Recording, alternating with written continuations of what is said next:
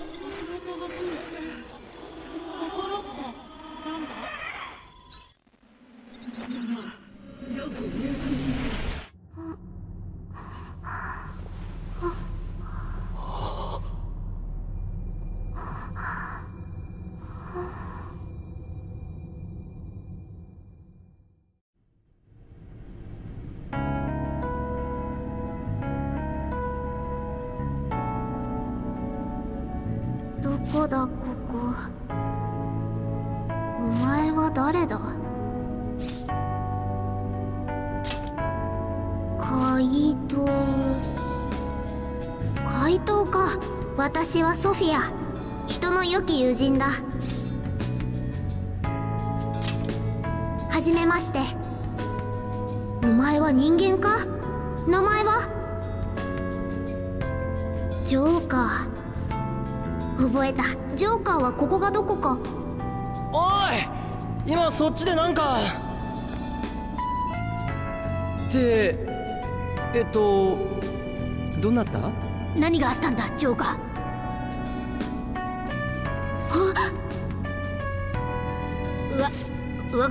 何か用か？タヌキ。猫だよ。猫じゃねえよ。どっちだよ？てか何なんだこいつ。なんか妙な服着てっけど。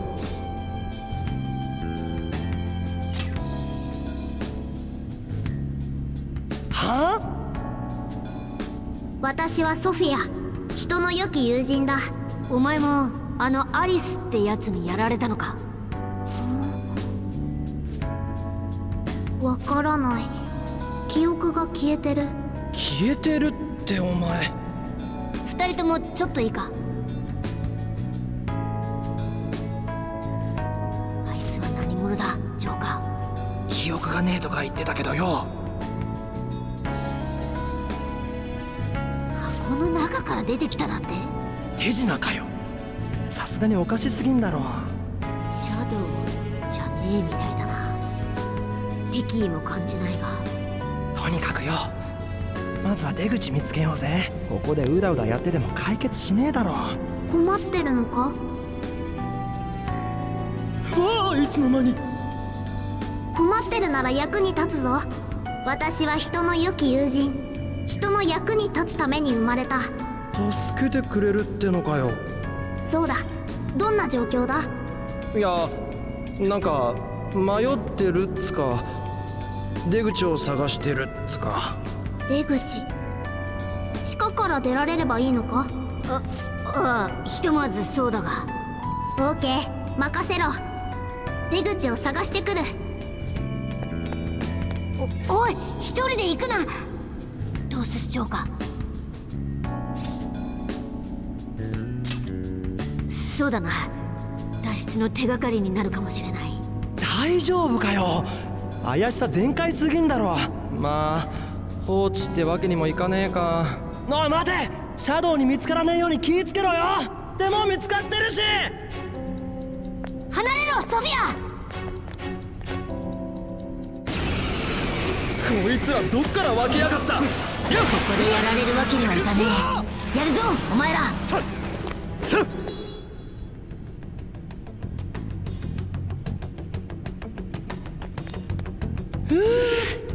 なんとか切り抜けたな。ソフィアっつったっけ？怪我とかしてねえか？問題ない。だがなぜ襲われた？いきなり襲ってくるとは人に優しくないの？ああなんつうか説明できねえけどあいつらはシャドウってやつらだよ。そして我が輩たちは怪盗団ここの主にとっては賊排除すべき侵入者とみなされてるってとこだ怪盗団かっこいいな。そこかよ。気が抜けるコメントありがとうよ。てかここらはシャドウだらけっぽいし行くなら一緒に行こうぜ。私が出口を探してくる。ここで待ってればいい。我が輩たちを助けてくれるのか？初めからそのつもりだ。ジョーカーは私を助けた。今度は私がジョーカーの役に立つ。私を使ってくれジョーカー よくわかんねえけどなんかいいやつっぽいなお前。どうするジョーカー？オーケー。よろしくなジョーカー。それと猫と骸骨？誰が骸骨だこら！骸骨ってかただのヤンキーだけどな。てか我が輩この姿は猫じゃねえし。お前まで乗るんじゃねえよ。俺はスカルだ。覚えとけよ。我が輩はモナだ。間違えんなよ。なんで怒ってんだ？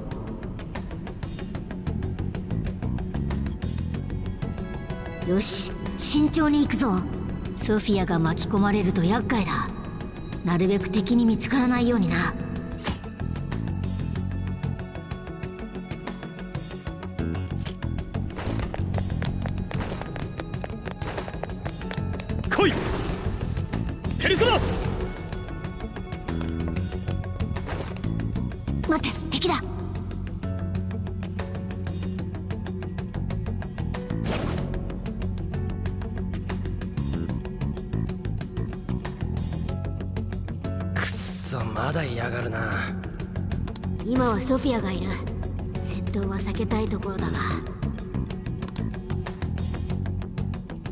つが邪魔なのか？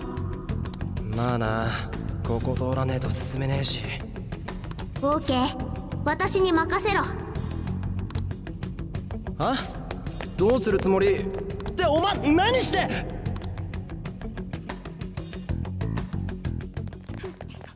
おい待てって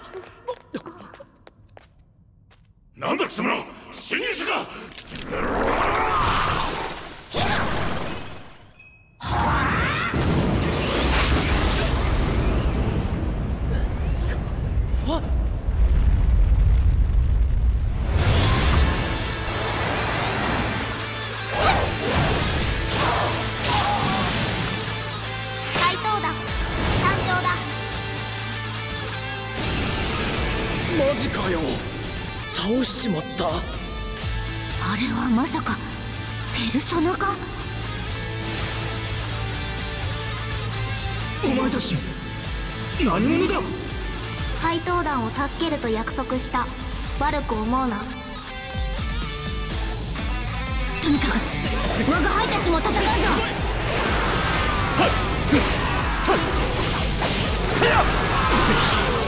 タルゲタルゲタルゲペルソナタルいただいていくはっやっほっそこかせはっていせやはっはっはっ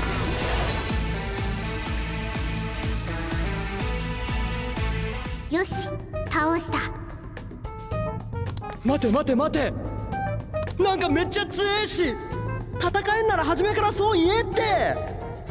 聞かれなかったから。しかもその格好は一体何だ？我が輩たちの変身とはまた違うようだが。怪盗団の真似をしたらこうなった。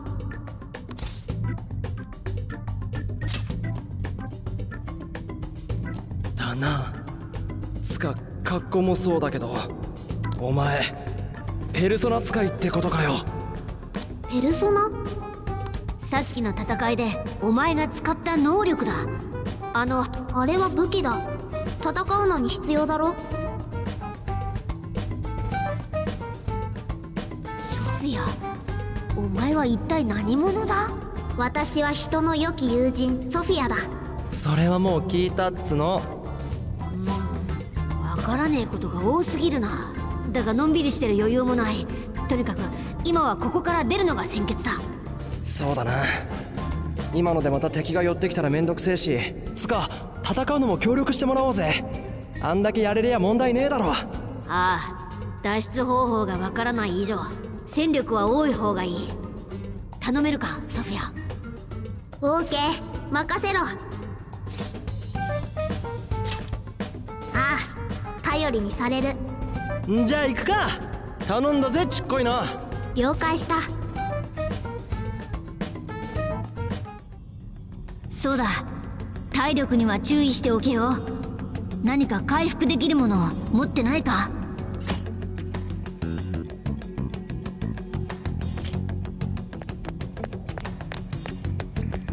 行くぞ。はっ。敵の気配は感じない安全気になった場所は調べてみようぜ。何か使えるものがあるかもしれん。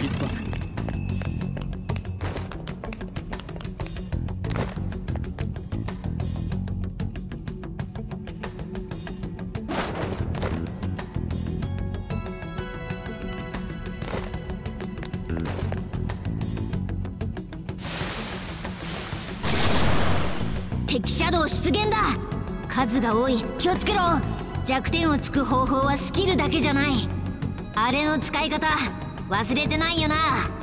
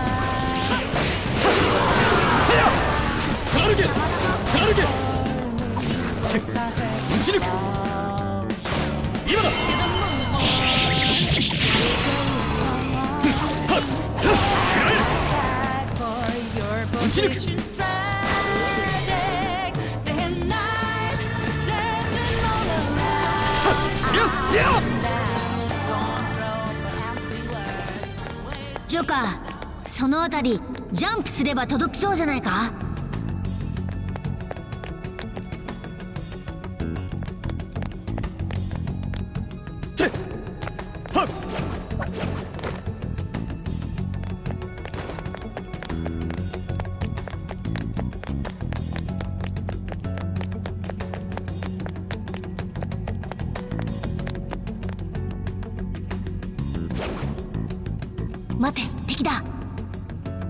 てはいないようだな。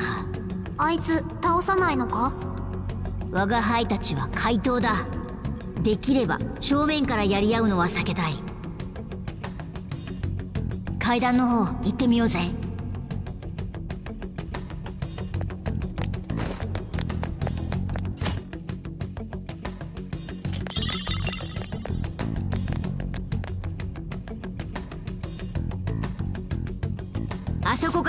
ってるものを見ろ。うまく使えないかジョーカー。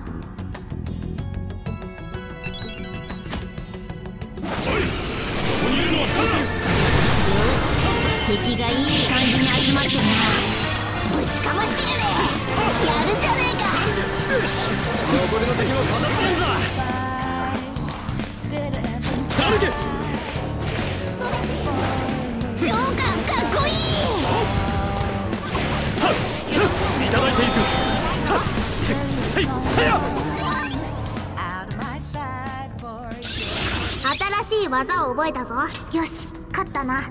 まだ油断すんなよ。つか行き止まりか？あそこ。あそこから登れば進めそうだ。行ってみるしかなさそうだな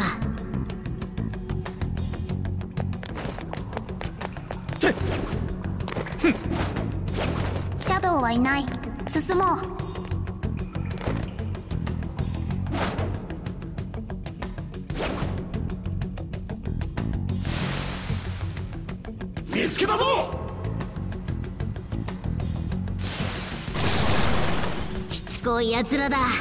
迎え撃つぞジョーカー。倒れろ。今だ。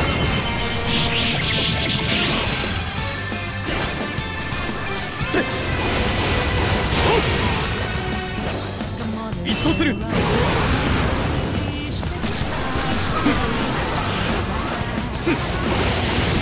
せや歩け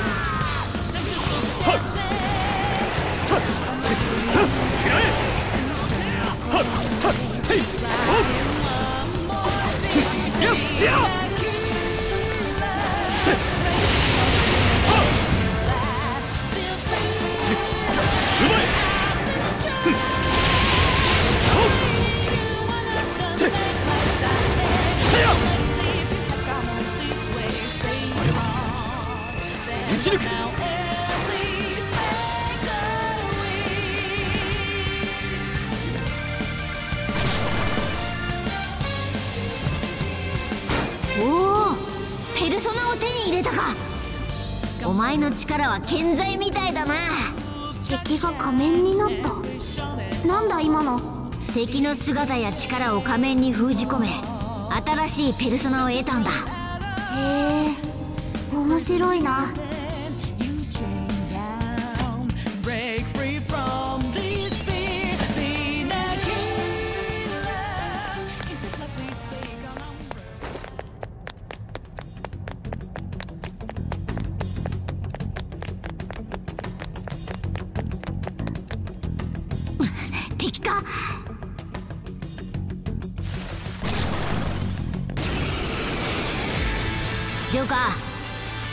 ペルソナの力試してみようぜ。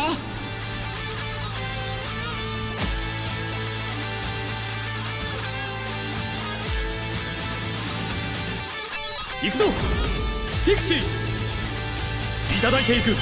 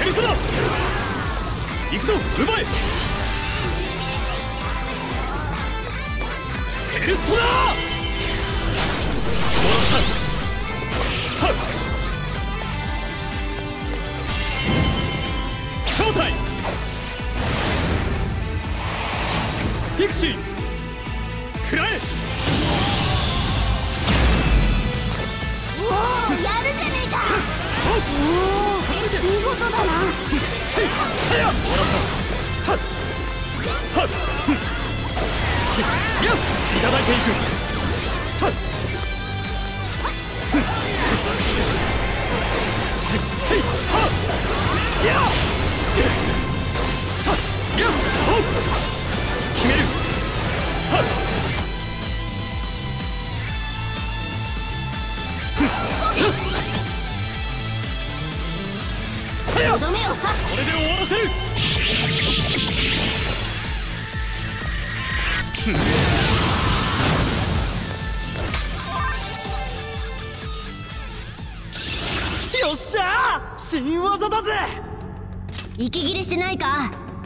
体力はこまめに回復しておこうぜ。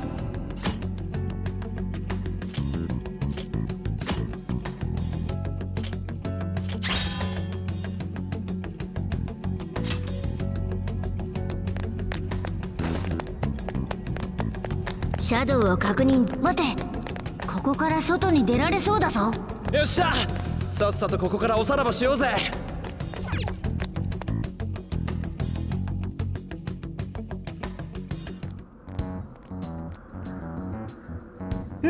やっと外に出れたな。だがまだ異世界の中だ。気を抜くなよ。待て。どうしたソフィア？何か見つけたか？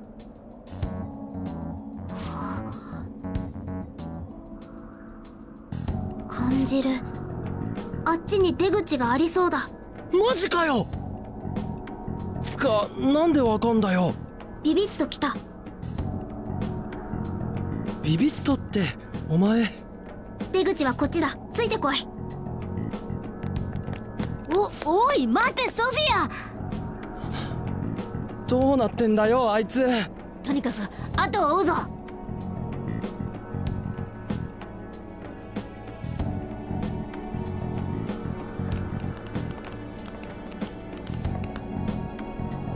ここがソフィアの言う出口なのか。匂いが薄いここで間違いない。つうかなんだあれ？大丈夫。ここは外に通じてる。通じてる？ぐにゃーってなってバーンってなるが出られる。適当すぎんだろ！大丈夫なのか？それ。信じろジョーカー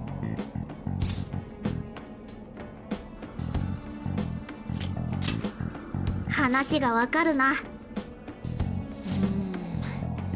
今はソフィアの話を信じるしかないか。あ？お前は一緒に来ねえのかよ？私はどうしたらいい？ジョーカーの言う通りだソフィア。そこら中車道だらけだろ。一人でうろつくのは危険だぜ。だがったくしょうがねえな。うわ何する？こんなとこに置いてけっかよ。とにかく俺らと一緒に来い。わかった。ついてこいと言うなら。んじゃあ行くぜ。せーの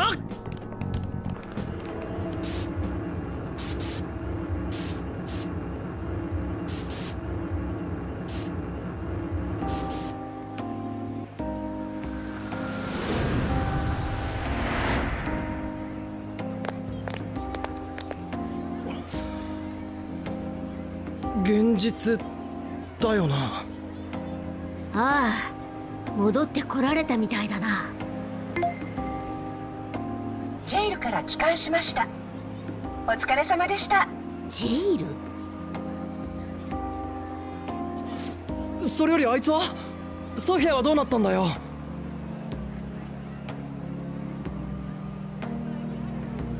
それらしいのは見当たらんな。おいちっこいないるなら出てこいって！こんな人混みででかい声出すな。呼んだか？今の声ソフィアか？どっから聞こえた？ここだここ。ジョーカーのスマホ。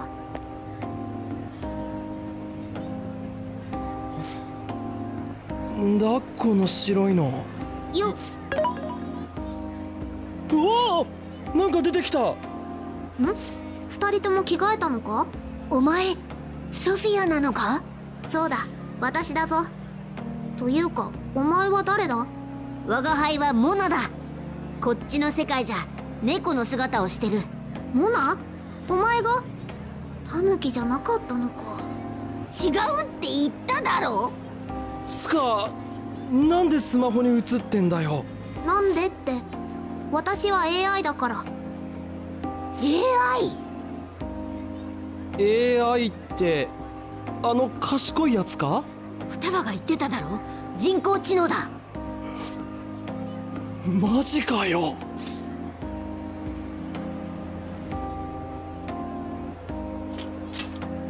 このスマホのおかげだ。光の中に投げ出されてジョーカーの匂いを追ったらここだった匂いってモルガナかよ。AI だからこのスマホの中にデータとして移動してきたってところか。要はそこに住んでるってことかよ。狭いが必要なものは揃ってるから居心地はいい。スカルも来るか？もう突っ込む気力もねえわ。とにかく無事に帰ってこられて一安心だな。なああの中で襲われてた連中は？捕まったままかよ。わからん。だが普通の人間ではなすすべがないだろうな。ああそうだな。だがむやみに動いてもまた捕まるだけだ。パレスそっくりな謎の異世界。そこを滑る強力なシャドウ。そして今またとんでもないことが起ころうとしてるのかもしれない。そうだな。ここで考えていても仕方ない。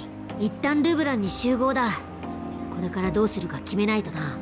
こいつはどうすんだよ？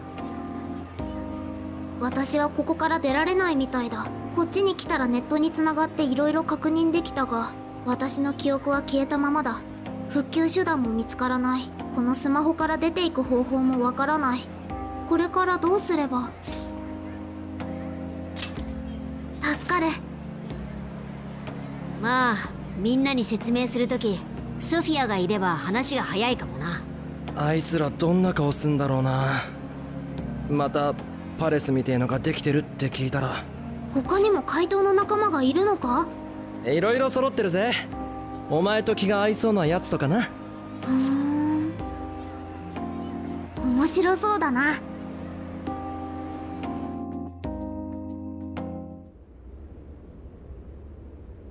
なるほど。つまりヒイラギ・アリスの正体で異世界に行き謎の少女ソフィアに導かれて戻ってきたと。なんかそう言われっとすげえぶっ飛んだ話だけどよ。だが事実だぜ。この目で見てきたからな。なこいつも言ってんだろ。分かったわ。冗談で言うような理由はないもの。とにかくそのソフィアって子が一番事情を知ってそうね。今一緒にいるの？ちょっと話せないかしら？そうだな。百聞は一見にしかずだ。ソフィアからも説明してもらおう。出てきていいぞソフィア。よ怪盗団。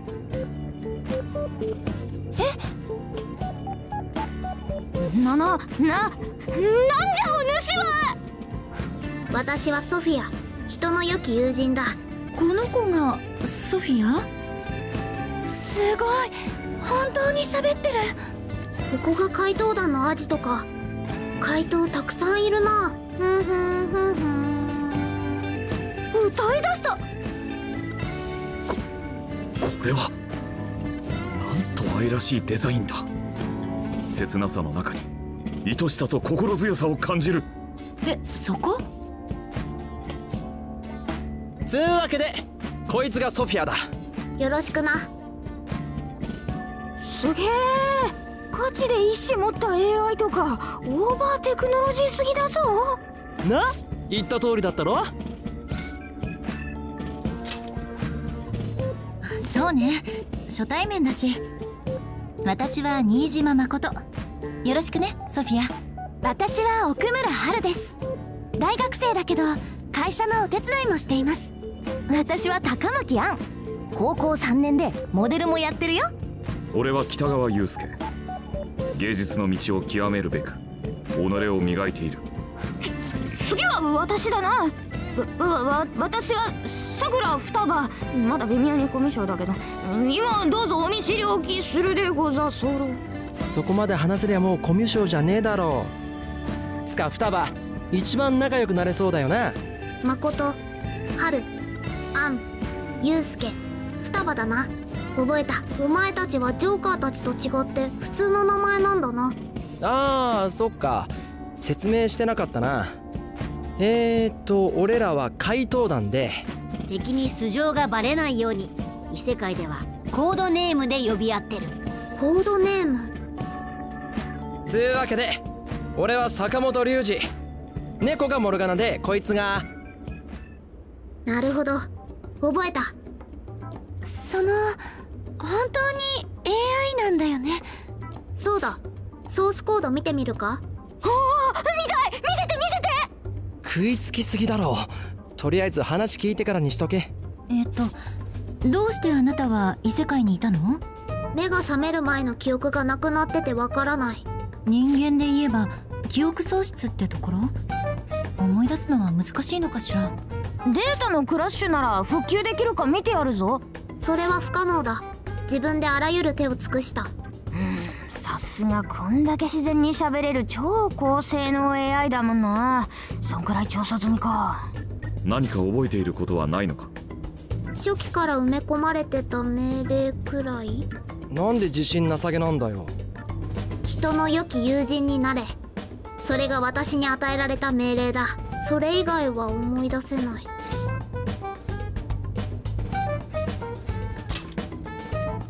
ああ気にすんなソフィア。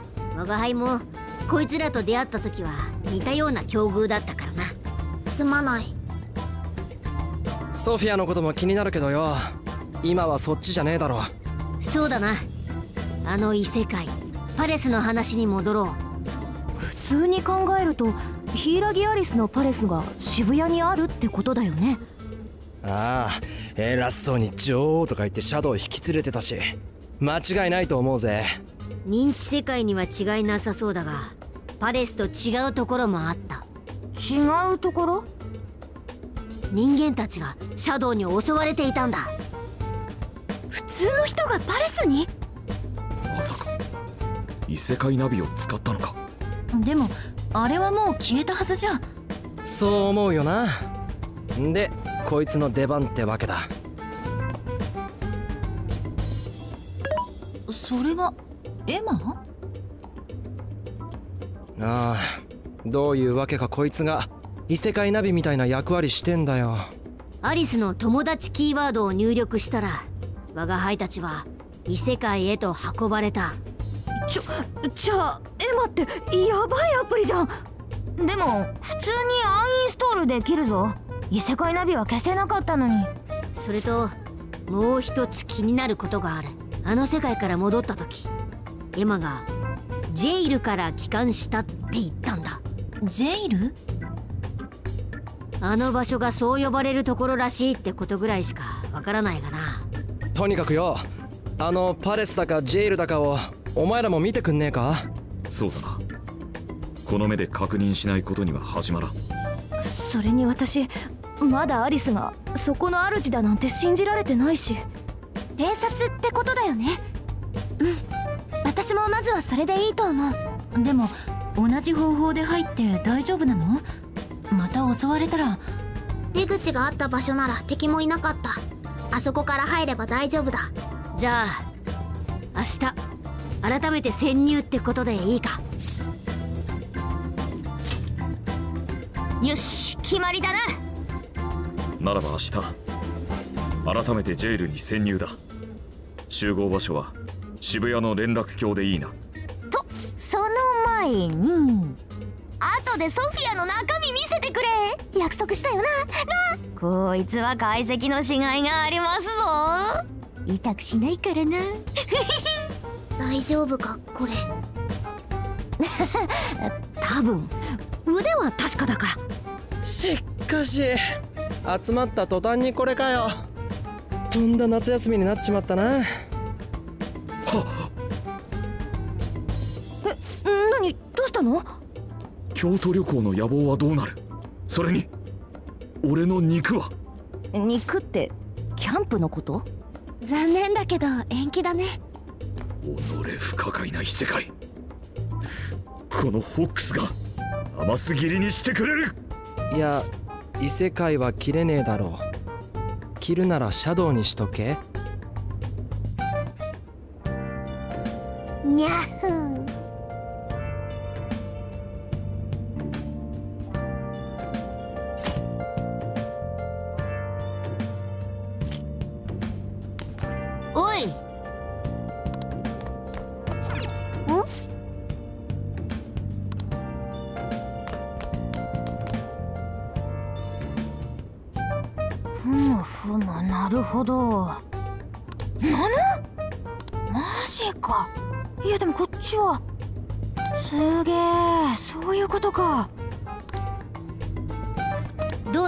なソフィアのコードってやつは。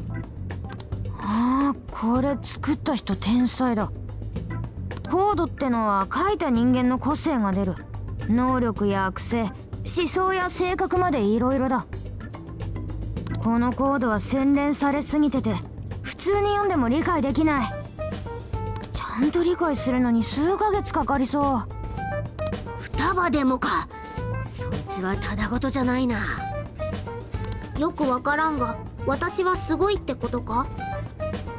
ああとんでもないぞ。ソフィアはスーパー AI だ。ソフィアが世に出たらエマもオワコンだろうな。オワコン？終わったコンテンツ。時代遅れってことな。ちょい前に流行ったネットスラングだ。なるほど。理解した。双葉は物知りだなあんまり変なこと教えてやるなよ双葉。それよりソフィアの身元の手がかりになるものはなかったのか？作成者とか企業の名前とか。今のとこなし。結構署名入れたりするもんだけどな。とにかく家でもう少し調べたい。何か分かったら連絡するぞ。うむ。任せておきたまえでは諸君サラダバー。サラダバー？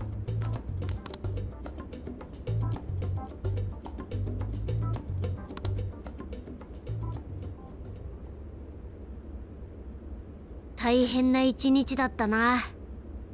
まさかこんなことになるとは思わなかったぜ。お前は本当に持ってるが今回に関しちゃ難儀だな。アリスにエマそして新たな異世界。調べることが山積みだ。しかしあの異世界にも驚いたが一番よくわからんのはソフィアだな。呼んだか？お前の存在が謎って話をしてたとこだ。喋る猫に言われたくないそれもそうか。って謎の AI に言われたくねえよ。だいたい AI にしちゃ曖昧な言動が多いんじゃないか？AI ってのは頭がいいもんなんだろう？それは反論できない。そこまでへこむなよ。私は人の良き友人役に立てないと意味がない。良き友人か。それだけは覚えてたんだよな。ああきっと大切なことなんだと思う。だが役に立てば友人になれるのか？違うのか？教えてくれ。他にどんな方法がある？え？あいやそうだな。人の心が分かるようになればいいんじゃないか？心？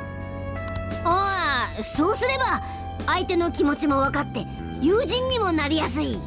と思うぜ。心？ままああまり難しく考えるなよ。我が輩たちについてきていろんな人間を見て学べばいい。その代わり怪盗団を助けてくれ。こいつはつまり取引ってやつだなそうか。なるほど。悪くない。それで人の良き友人になれるのなら。まリーダーがいいならだけどな。オーケー。大船に乗ったつもりでいてくれ。これで取引成立だな。よろしく頼むぜソフィア。明日は偵察もある。今日はもう寝ようぜオーケーおやすみ2人とも。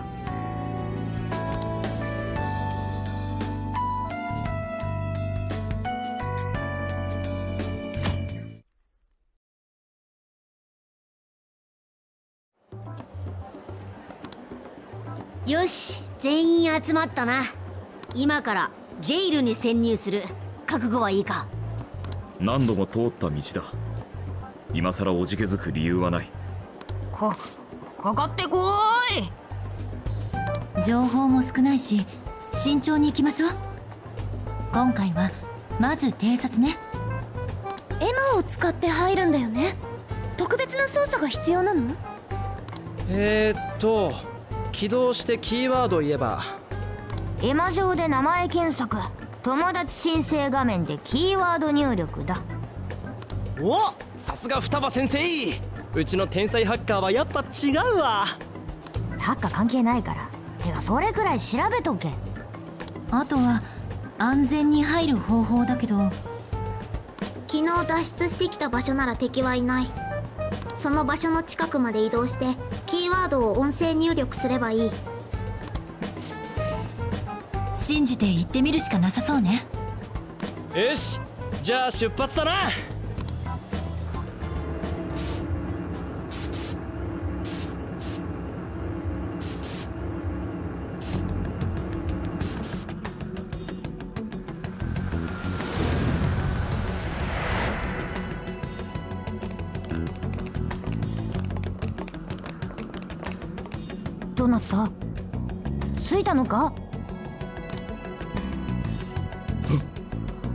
みんなが怪盗服になっているぞ。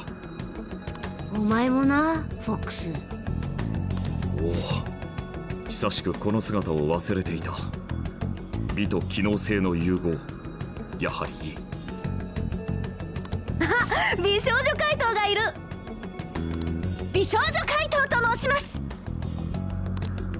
もうふざけないの。でもこの格好は確かに懐かしいわね本命はこっちじゃない。街の景色を見てみろ。これがジェイルなの？なんだあの建物。やばいってレベルじゃないぞ。全体がおぞましい配色に包まれているな。誰かの認知が影響してあんな風になってるんだよね。おそらくアリスのな。あそこは特に歪みが強い場所なんだろう。ジェイルを滑る女王の根城ということかさもありなんといった佇まいだな。この辺りは街の形を保っている。ある程度離れれば影響は少ないらしい。前回我が輩たちはこの下のスクランブル交差点に入った。そこでアリスに従うシャドウたちが大勢の人間から何かを取り出していた。あの宝石みたいなやつな。つかあれって何だったんだ？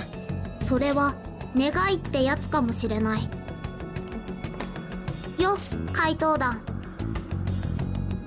うわソフィアか AI 少女ガチの実体化きた！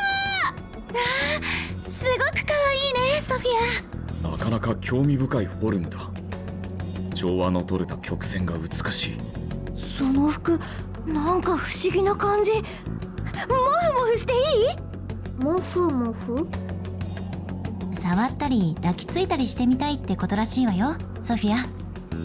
それは拒否する。子供じゃないからな。断られた。そもそも AI に大人子供があるのか？それよりソフィアさっきお前が言った願いとは何だ？ここのシャドウたちが言ってた。願いを奪えとかキングに献上するとか人から奪われていたのならそれが願いじゃないかと推測。確かにアリスと会った時もそんなことを言ってたな。そしてキングってのはアリスのことでこのジェイルでの主のことか。願いってお願いとかそういうこと？願いが奪われる。それってどういうことなのかしら？あん時襲われてた奴らがどうなっちまったかだな。その肝心の被害者たちはどこにいる？それらしい人影は見えないが。わからんどこかに囚われてるのかもしれないが。ねえその襲われてた人たちって本当に人間かしら？どういうことだよ。シャドウだったんじゃないかって。もし被害に遭った人たちが本物の人間で今もこのジェイルに囚われているのなら今頃巷は集団失踪事件とかで大騒ぎになってるはずじゃない？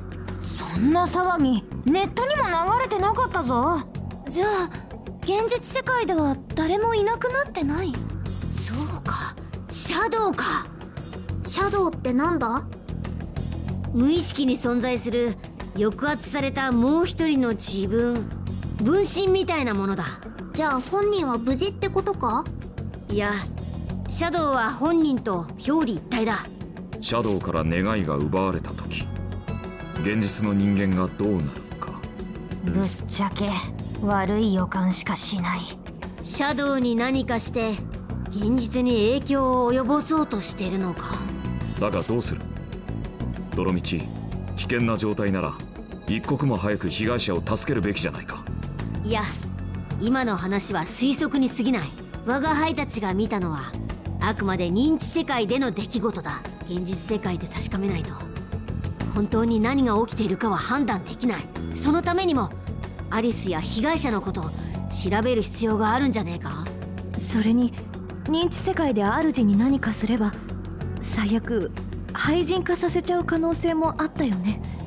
ええ。行動に移す前にしっかり調べておかないと危険だわ。了解。けどよ実際どうする？また偶然イベントにでも出くわさなきゃ芸能人なんてそうそう会えねえだろ。まあそういう話は外で。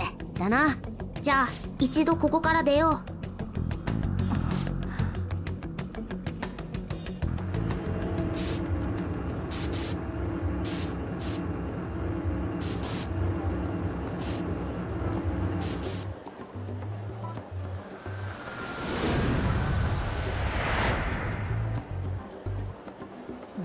状況は確認できた。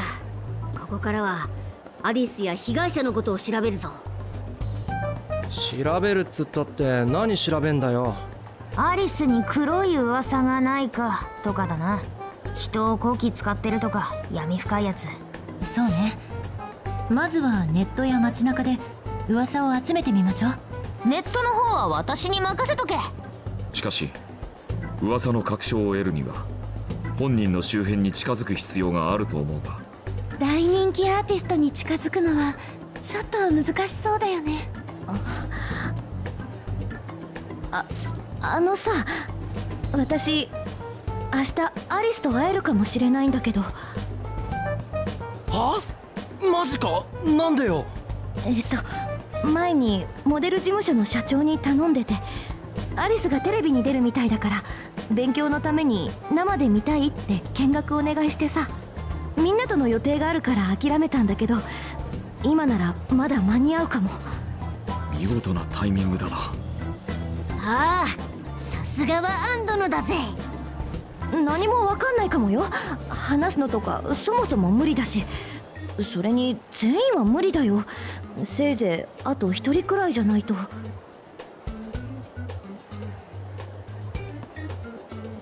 よしそういうことだ。よろしくななんかちょっかいかけてアリスの尻尾掴んでこいよ。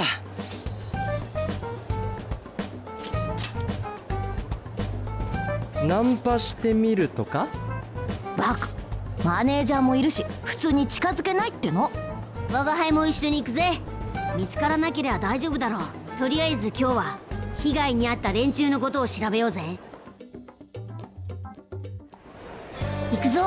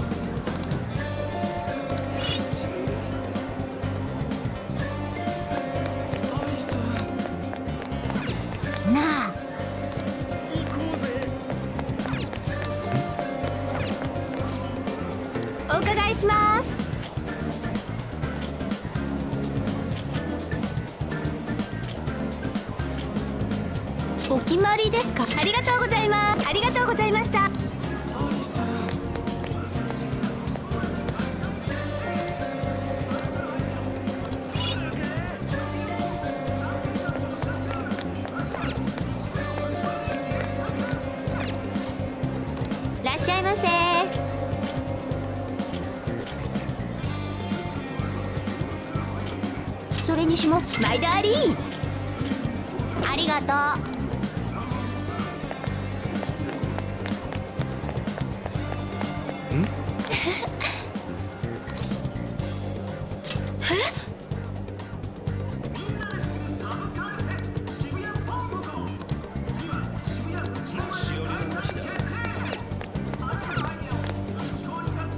何になさいますか？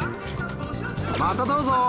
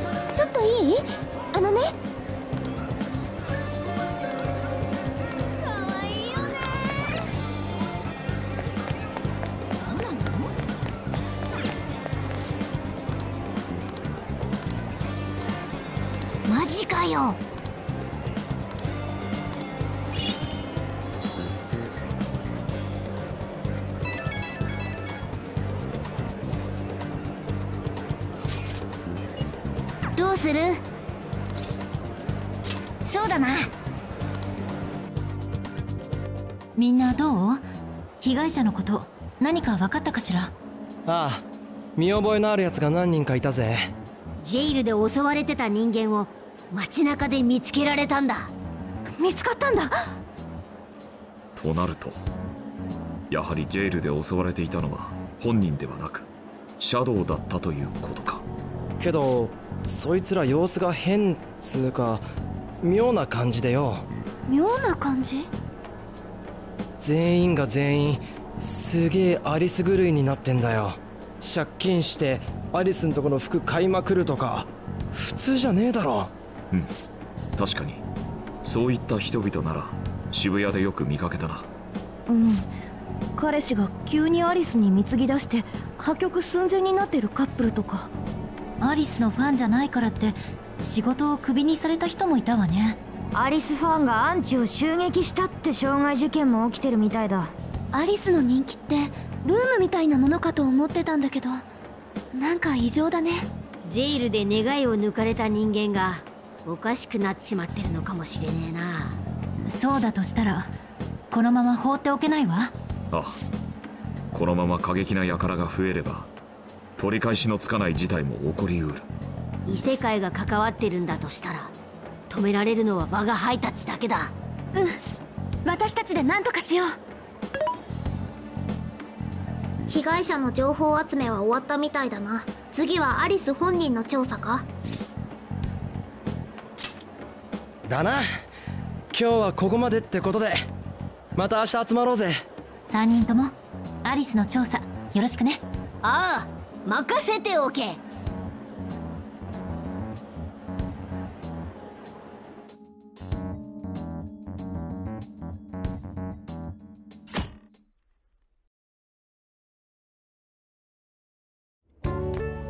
おう出かけんのか？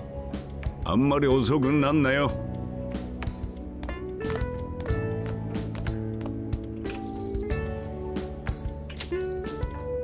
マスターこのカレー絶品だな。そりゃどうも。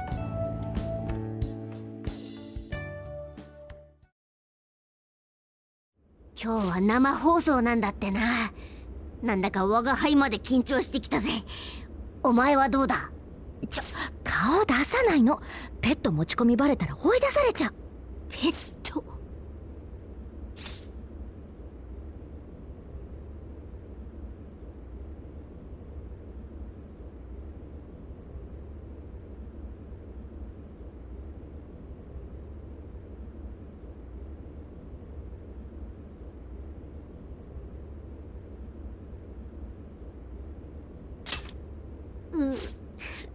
まあこの姿じゃ仕方ねえか。お前らも変に目立つなよ。大丈夫だよ。見てるだけだから。私も静かにしてた方がいいか。そうだね。ちょっと我慢しててソフィア。 No problem 来るみたいだぞ。アリスさん入られます。やばやっぱ超可愛い CM 開けます。5秒前。43続きまして今会いたい人のコーナー。今日はスペシャルゲストをお招きしました。現在人気沸騰中。ファッションアーティストの柊アリスさんです。よろしくお願いします。今日はよく来てくれたねアリスちゃん。今めちゃくちゃ忙しいでしょ？おかげさまでたくさんお仕事をいただいてます。大人気だもんね。やっぱそのファッションが人気の秘訣かな。この服も全部自分でデザインしたんでしょ？とても素敵で可愛らしいですね。ありがとうございます。この洋服は不思議の国のアリスをモチーフにしました。ファッションって私たちを遠い不思議の国に連れて行ってくれるものだと思うんです。知らなかった自分。知らなかった世界それを見せてくれるんじゃないかって。そんな期待を込めてデザインしました。様々なジャンルで活躍されているアリスさんらしい言葉ですね。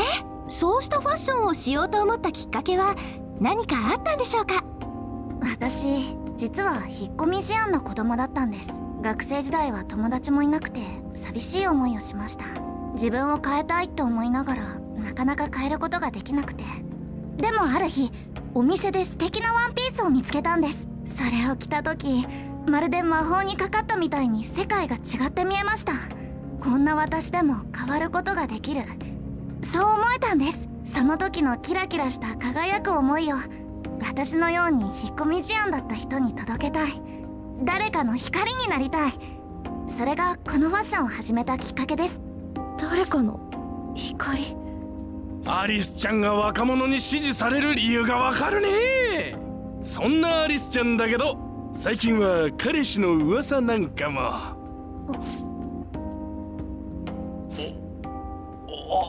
あれ？あ？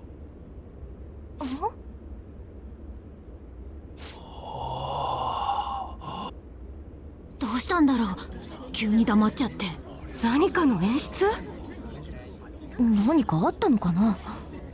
あのどうしました？アリスちゃん。俺あ君のことが好きだ。付き合ってくれ。え？ちょちょっと何言ってるんですか？こんな気持ちは初めてだ。君のことを愛してる。ぎ急にそう言われても。ままたまた冗談が好きなんですから。本気なんだ。頼むちょっと私はどうなるのよ？聞いた今の。あの二人って婚約してたんだよね？てかこれやば。放送事故じゃない？CM! CM 入って！お願いだ！アリスちゃん！いい加減にして！何なの？何なのよもう！何が起きてるの？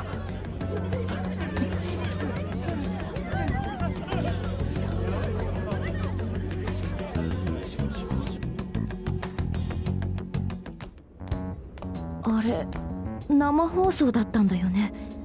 いきなり告白ってのは我が輩どうかと思うぜ。ねえ。あれってもしかしてアリスに願いを奪われた人なのかな？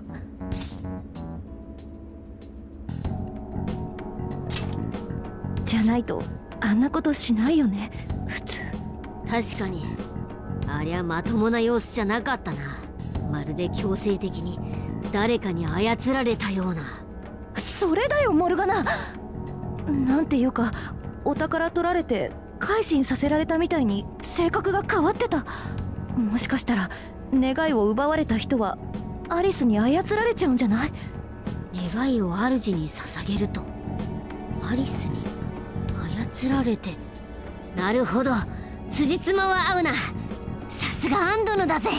つまりアリスは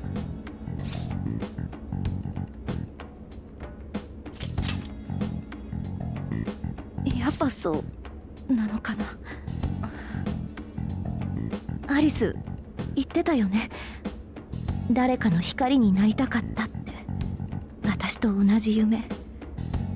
前に雑誌でアリスの記事を見て私ちょっと共感してたんだ。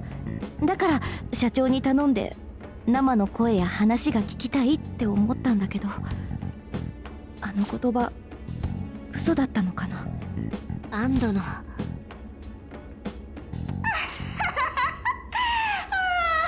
白かった。今の声アリス。か隠れよちょちょっとアリスさん。ここは一般の方も通る廊下なんですから声を。大丈夫だよ。誰もいないでしょそれより見た？あの女の顔。ありえないって顔してた。自分が勝ち組だと思い込んでる人ほど。ああいう時にいい表情するんだよね。アリスさんもうこんなことやめませんか？はあ？何言ってるの？私むしろ被害者じゃない。何をやめろっていうの？理由も方法も分かりませんがああんなことが起こるなんてあなたが何かを。ええまた痛い目に遭いたいんだ。許して。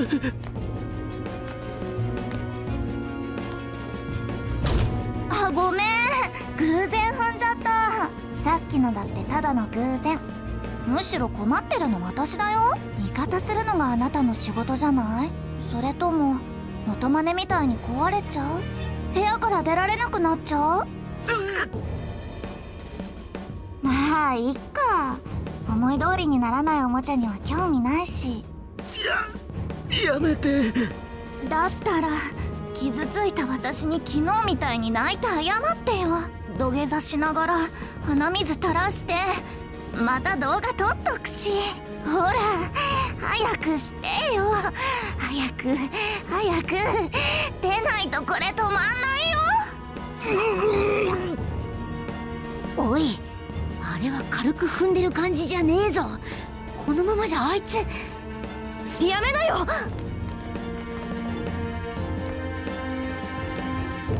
君たちは？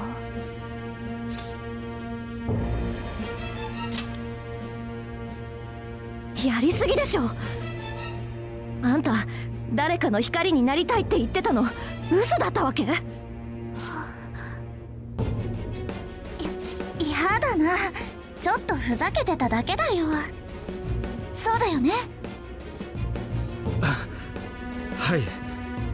じゃあ先に行ってて。あちょちょっと。あなたってもしかして高巻杏さん？え私のこと知ってるの？うん。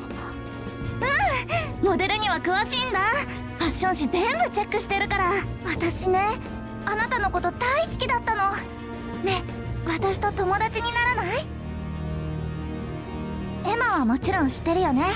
私の友達キーワードは？お断りします。あんなひどいことする人私は絶対認めない。うーわー傷つく。でも正直な人って好き。あそこの彼はどうかな？私と友達にならない？ああ振られちゃったあれそういえば君って確か前705にいたもういい帰ろう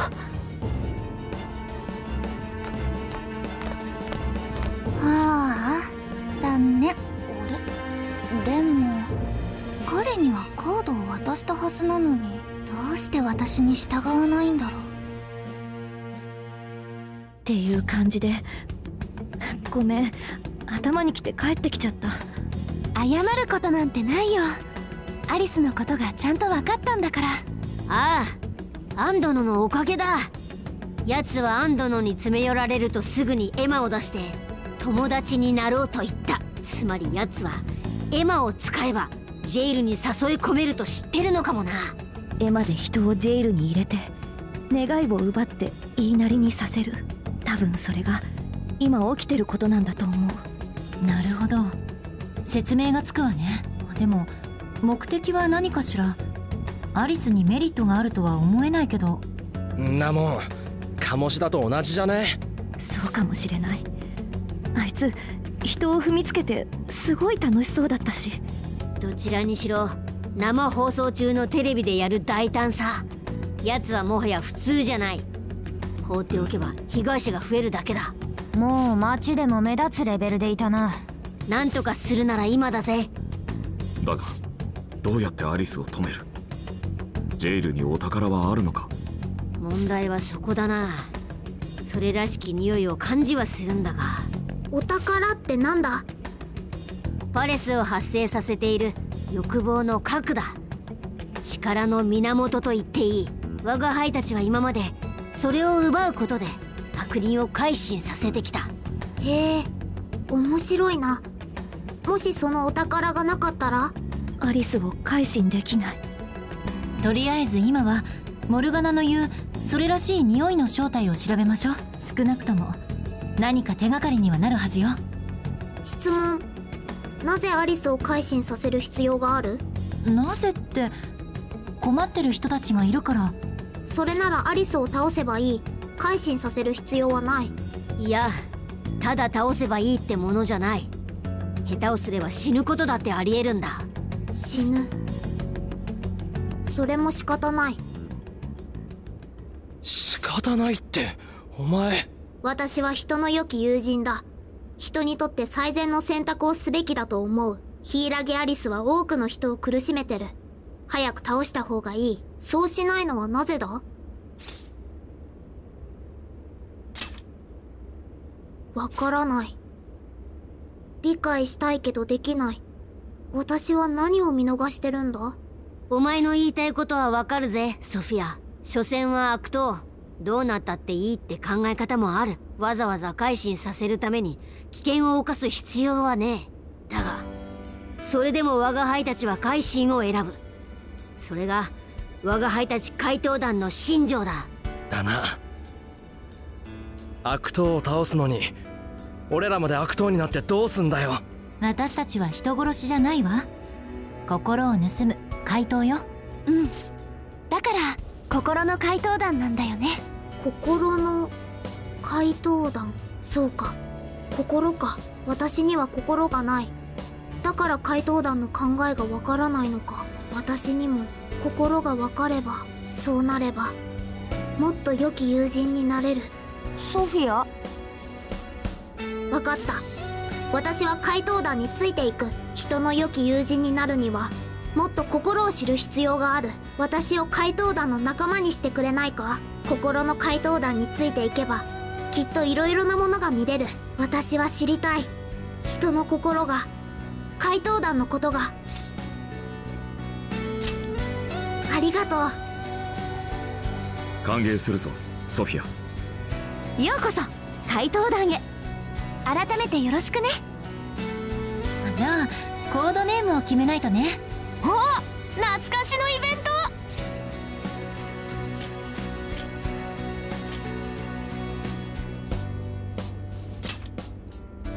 色で行くか。てか犬かよ。犬は白で猫は黒なイメージだな。なんで我が輩を見る？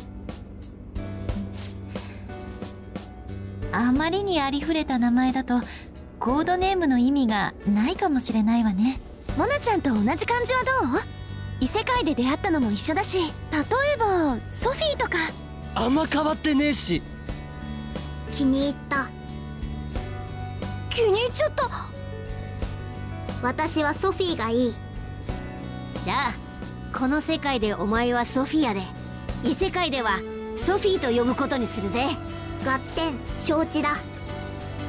なんかお前最初に比べると人間っぽくなってね。ネットで日々学習中だからな。もっといろんな言葉を覚えておく。妙な言葉覚えてくるなよ。んじゃやるからには派手に行こうぜ。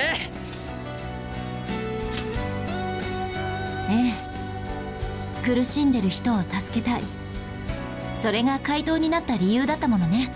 それで私も助けてもらった。やられたのは赤の他人。だが見捨てたのでは怪盗の名折れだ。困っている人がいる限り悪に背は向けられない。うん。やろう。誰かが光にならなきゃ。アリス本人のためにも。私は怪盗団についてくぞ。よーし！怪盗団本格再始動だ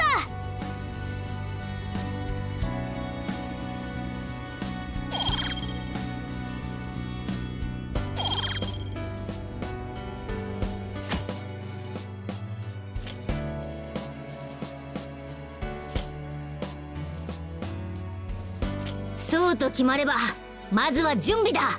備えあれば憂いなし。武器や物資が必要になるな。前みたいに買い物とかはいろいろ顔が利くお前に任せるわ。うちらも用意しとくから準備できたら集合かけてね。おい。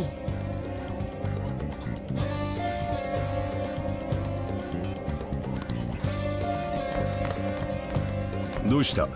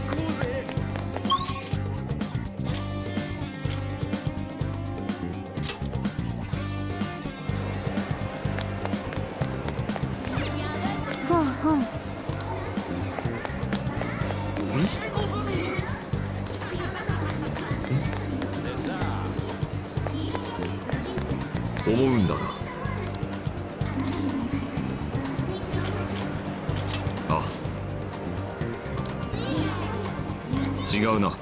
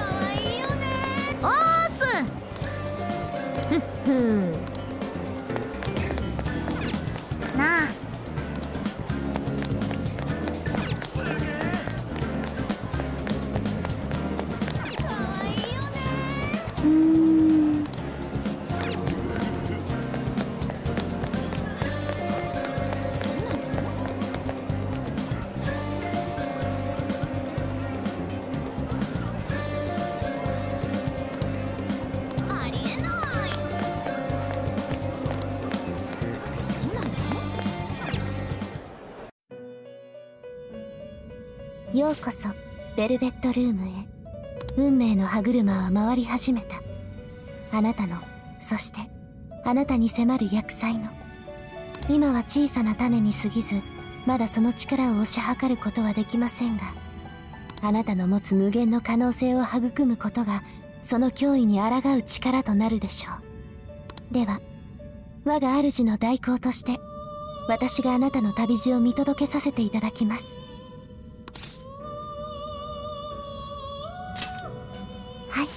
ちらこそ。ご存知の通りあなたはワイルドの素養により複数のペルソナを扱うことができる。古き人格を捨て新たな人格を生み出すペルソナの処刑。いわば合体。これらを駆使することが邪悪な意志を持つ者たちを打ち破る鍵。今は主が不在のため私専用の処刑器具で合体を執り行います。かつてあなたが宿したペルソナの力を引き継ぐことはできません。ですが旅路での新たな出会いがあなたの可能性を引き出してくれるはず。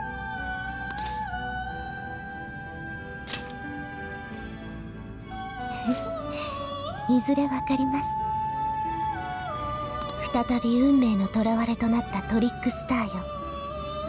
運命の鎖を解き放ち人々の心。願いを取り戻してください。それがきっといずれ来る混沌を退ける希望へとつながることでしょう。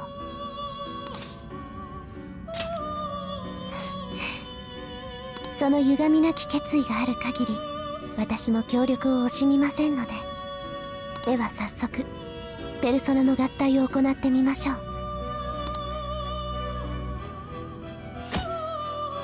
2体のペルソナを合体させ新たな力を得るのです。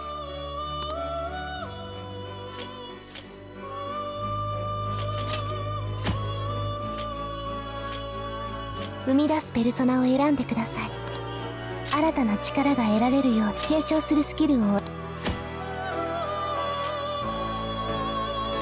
このペルソナでよろし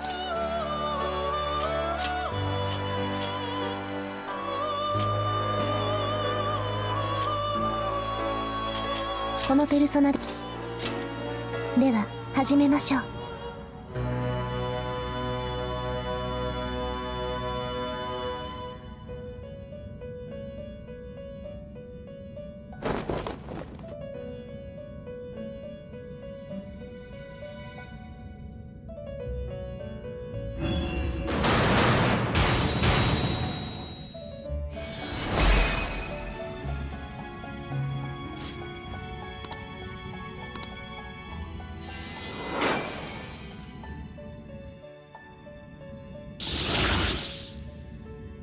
力が得られましたね。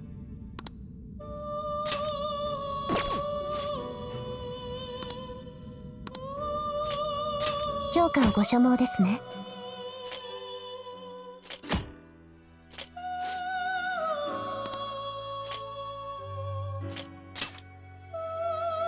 どの程度力を注ぎ込みますか？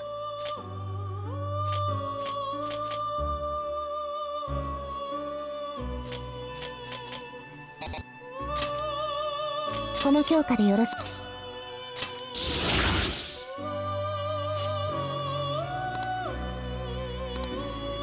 よし。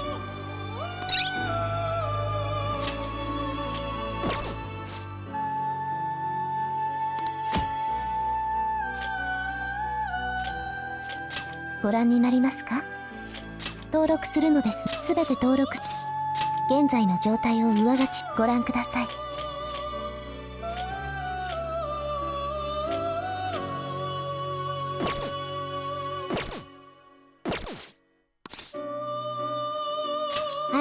力が必要な時はいつでもここを訪ねてください。私はあなたのそばにいます。それではまた。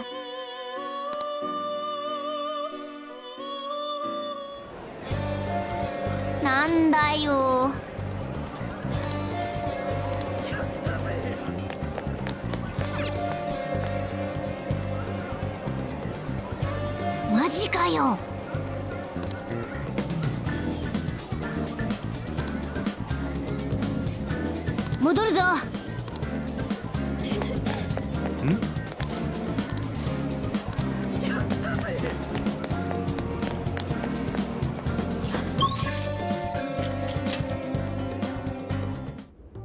ミリタリー屋は臨時休業。竹見委員は夏休み。武器とか薬買えねえじゃん。タイミング悪すぎだろ困ったわね。無防備で異世界に入るわけにはいかないし。別の店探すしかないなでもそう都合よくあるかな。どうした？困ってるのか？なんか役に立てる気配。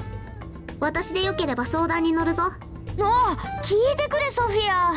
あのねジェイルの中でも使える道具を探してるんだけど。あいにく武器と薬の調達先が休業中だ。このままだと異世界潜入に支障がある。近くにいいお店ないかしら？ネットで頼むのはどうだ？それもありだけど届くまでのラグが厳しいな。それにお医者さんが扱うような効果の高い薬は手に入らないわ問題ない。ネットは広い。リュウジ何か欲しいものあるか？あ？欲しいもん？そう。何でもいいぞ。んじゃあ金の延べ棒。あのね小学生か。だよ。冗談じゃねえか。つかいきなり言われたからよ。オーケー。注文した。ちょっと待って。あ？注文？ちょバイク便です。早っ。っていうか金の延べ棒？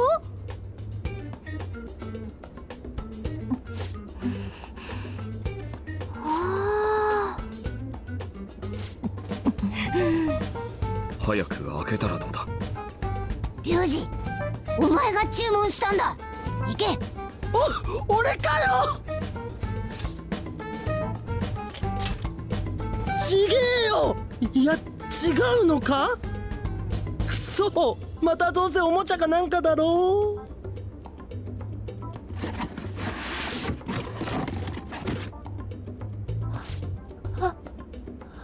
本物かな？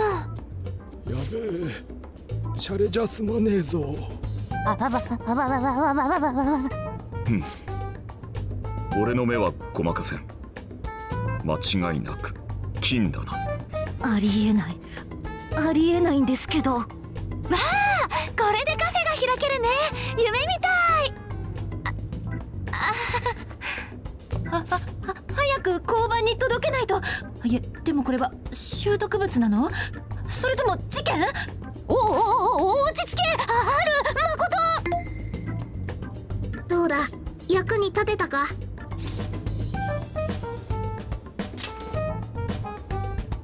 ネットで早く届けてくれる業者を見つけた。これなら時間もかからない。ネットで金塊って闇ウェブにでもアクセスしたのか。正解だ双葉。大丈夫。法律は破ってない。支払いは仮想通貨でしておいた。後で振り込みよろしく。よろしくじゃねえよ！えっとこれっていくら？多分うん百万。キャンセル何か言ったか？キャンセルだこんなもん！毎度引き取りに来ました。ご利用ありがとうございま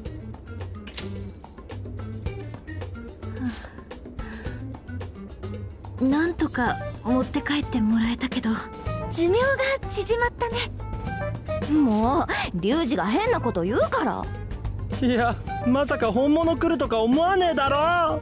口は災いのもとというが俺も気をつけよう。だがこいつは使えるんじゃないか？この速さで届くなら十分だ。ソフィアに色々見つけてもらおうぜ。それでいいか？オーケー。じゃあ何でも買えるように手配する。ソフィアショップ。オープンだ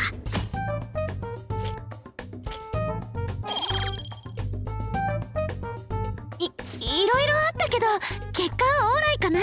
ああこれで準備できそうだ。ジェイルの中で何が起きるかわからねえ。しっかり備えていこうぜ。